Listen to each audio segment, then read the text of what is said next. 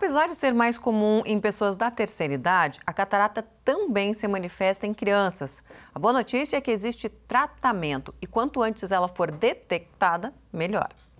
Com um mês e 15 dias, a Lívia fez cirurgia no olho esquerdo para corrigir a catarata congênita. A doença foi diagnosticada na maternidade. Hoje, aos 5 anos, ela usa óculos e, segundo a mãe Juliana, faz acompanhamento regular na oftalmopediatra.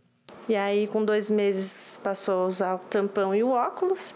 E até hoje a gente vem nessa luta, nessa correria diária que tem dado muito resultado bom. Bastante resultado bom. Principal causa de cegueira no mundo, a catarata atinge principalmente as pessoas na terceira idade, mas também é prevalente em crianças. O Conselho Brasileiro de Oftalmologia estima que a chamada catarata congênita atinge a 3 em cada 10 mil bebês e exige atenção. O teste do olhinho é fundamental para detectar o problema.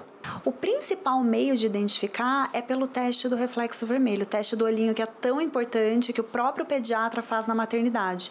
Então ele usa um aparelho que é um, é, um oftalmoscópio e aí a gente vai identificar uma alteração do reflexo vermelho. Sabe quando a gente tira foto com flash e aí aparece aquele reflexo vermelho nos dois olhos? Um lado vai estar tá mais esbranquiçado, mais amarelado, então a gente sabe que alguma coisa de errado tem ali.